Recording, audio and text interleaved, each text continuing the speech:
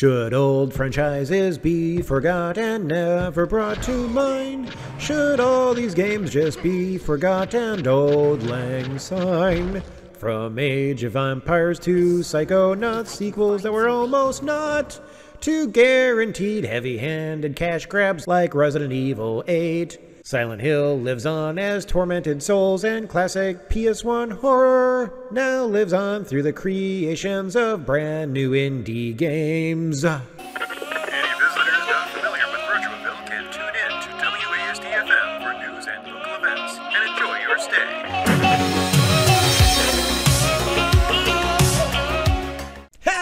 Year! Oh my goodness, that year went by so fast. that I had time to finish like three whole games. Three whole games.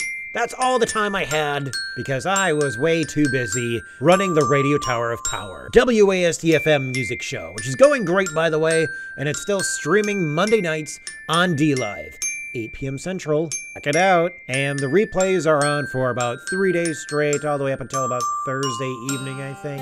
And then it gets uploaded to my backup channel, WASDFM Radio. Shameless plug. Anyway, now I didn't have enough time to finish 10 whole games to bring a top 10 list, because that is so overdone anyway, and honestly, who cares about other people's top 10s? Your top 10 is not valid unless it is the same as my top 10.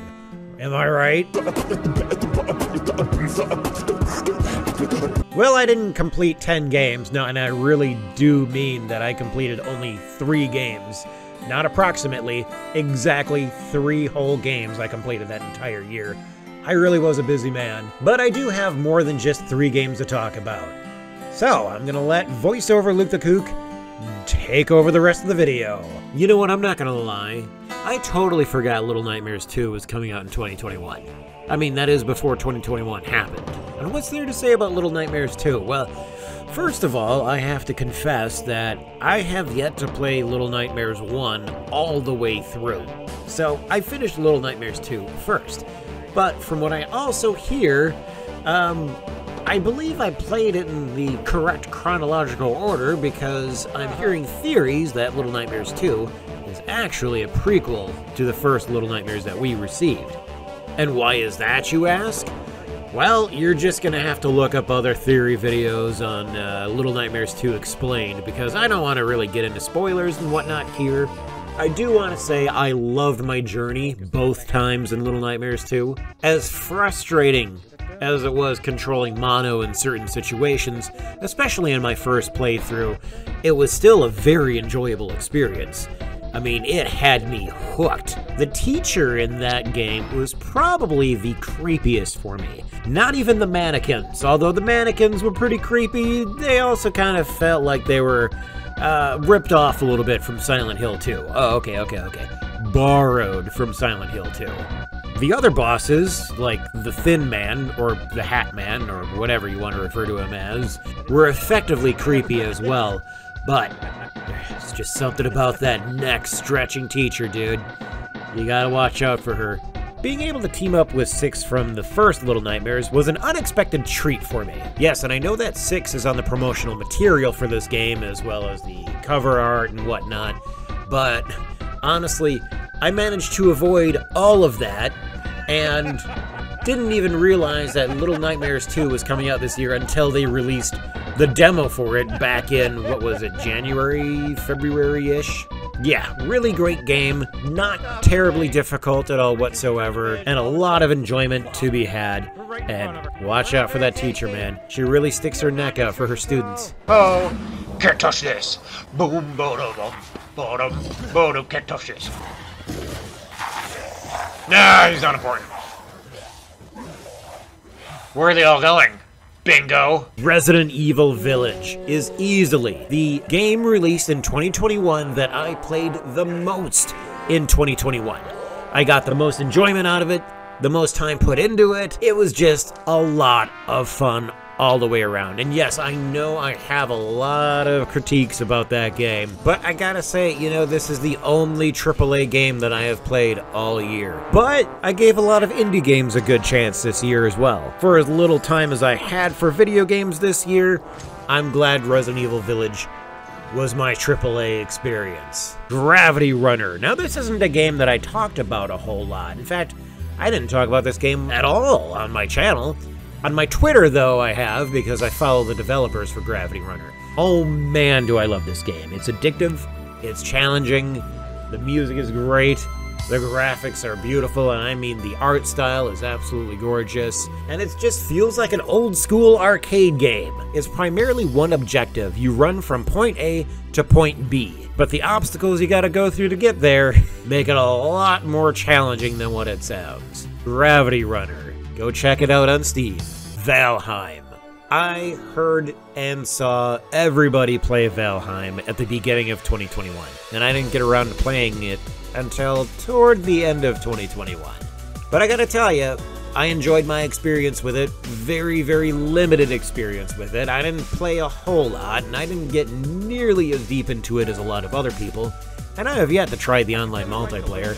And uh, the reason for that is, it's not that I don't quite understand how to play Valheim. I can figure it out. It's just, well, I need a beefier computer to play a game like Valheim. The game is pretty sexy, and it very well could be the next Minecraft. It's got a lot of potential. It's still in early access, but I imagine a full release of this game will give it a good revival. If you haven't already, and I don't know who hasn't by now, go ahead and check out Valheim on Steam. Speed Limit. Oh my goodness, Speed Limit. This was an unexpected surprise of 2021. So, as hard as this game is, because it's meant to be hard, that's kind of its shtick. It's a, it's a bit like Hotline Miami. You die and you start over again. Sometimes you start a little further back over than what you really want, but that's all part of the challenge. What is Speed Limit? Well, I'm sure a lot of people haven't heard of Speed Limit. There doesn't seem to be a whole lot of YouTube videos on it. It's essentially a run and gun game. The game starts off with you picking up a gun from some dude that allegedly died right in front of you, and then you just run and you shoot everything and everyone that is trying to kill you. That's basically the entire story right there. You're running for your life. Uh, excuse me, you're running and gunning for your life. Bum Simulator. Now, this game looks kinda ass. It does. It really does. I'm not gonna lie. It does not look pretty at all whatsoever. It's a very ugly looking game. Having said that, does it always matter how good the game looks? If you can still get a lot of fun out of it, and you really can. When was the last time we got a proper postal game? It's been a while. Bum Simulator will scratch that itch, no problem. Go ahead, check out Bum Simulator. I am bummed out that I didn't get a chance or any time to play more of it this year, but I imagine I'll make some more time for it in 2022. Now, I have to mention the Lunar Effect demo. It didn't get a full release this year, but the demo is still available on Steam. Please check it out, especially if you're a fan of old school Resident Evil, Silent Hill, and Alone in the Dark. Difference between those games and this game is that Lunar Effect is much more approachable. Trust me. I know, everybody has an issue with the tank controls from those old games that I mentioned, the old survival horror games. You will not be experiencing any of that in the Lunar Effect. The Lunar Effect has fluid control, and it's mostly puzzle heavy, and a lot of atmosphere building. So far in the demo, there hasn't been any jump scares, in my opinion. I was just so invested in the gameplay and just so in love with the visuals and the sound and the ambient music. Mmm. Mwah. Ah. What was I saying again? Oh, who cares? Go check out the Lunar Effect demo. You'll be happy that you did. Oh, man, these are the games that I didn't get a chance to play in 2021. And I guess I'll have to make room for them in 2022. Age of Empires 4. Look, I just didn't have any time. I'm a huge Age of Empires 2 fan. I played a little bit of the first Age of Empires, but I played a lot of the second Age of Empires, and none of the third. I don't know if the third interests me all that much, but the fourth interests me greatly. It came a little late in the year, it came in September when I was already working on my Halloween videos, my Thanksgiving videos. And trying to plan some kind of Christmas content. It's very much within my budget. I could easily buy it, but I didn't want to buy it yet because, you know, I don't want to buy it if I don't have time to play it. What can I say? Even though I buy plenty of games and take forever to get around to playing them, but whatever. Age of Empires 4 is a very, very special case. That game I will easily get invested in. It's the same thing with Civilization 5, same thing with Age of Empires 2. Age of Empires 4 is definitely gonna be a time sink for me. I'm gonna wanna wake up on a Saturday morning, start playing it, and before I know it, it'll be 2 a.m. following Sunday morning.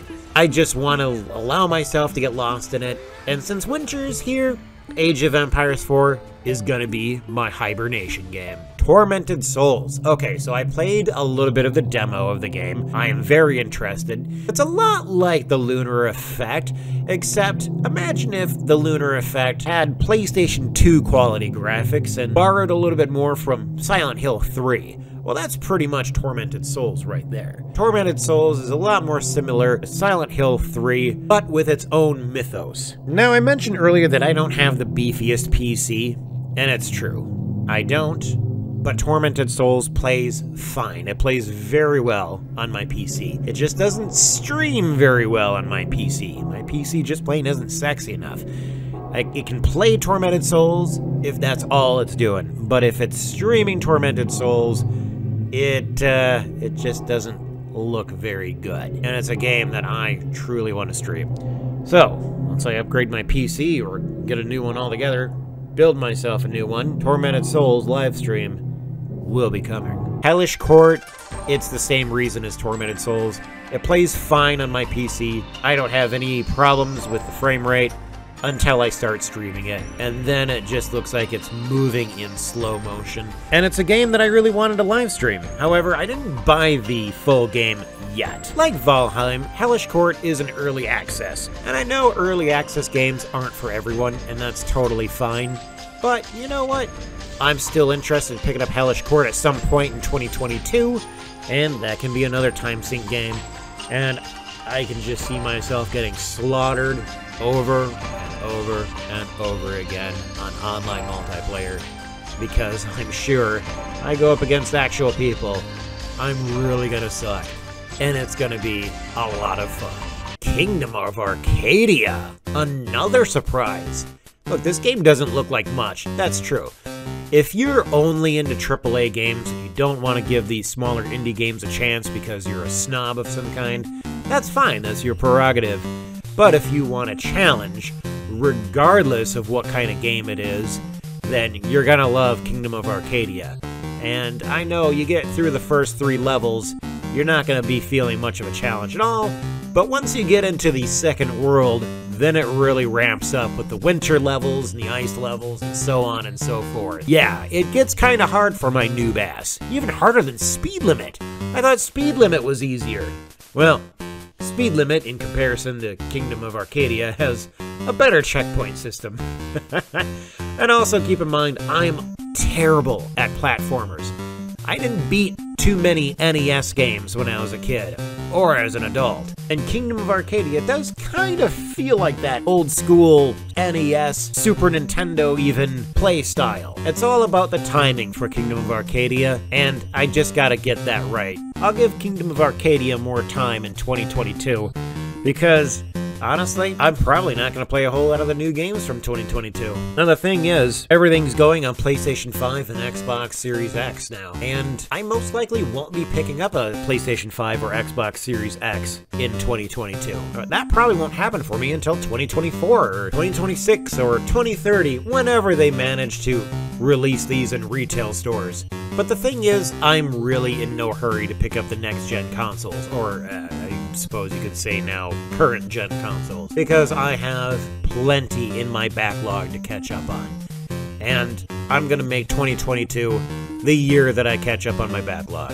Also, the year that I play Elden Ring. That will happen, for sure. And I will let that be the only new game that I play in 2022. And that's all I have for now. Please stay tuned for more fresh and original content coming to this channel in the form of just really, really weird videos that you're probably not going to get right away if you think too hard about them.